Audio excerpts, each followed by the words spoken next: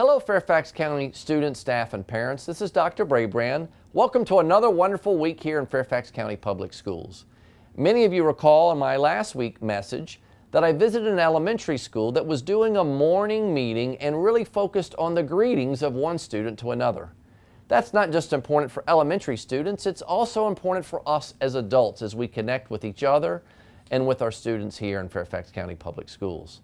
So just for fun, here was a recent school visit to Quander Road. Count along with me how many times I did a meet and greet as I visited the wonderful staff and students at Quander Road School.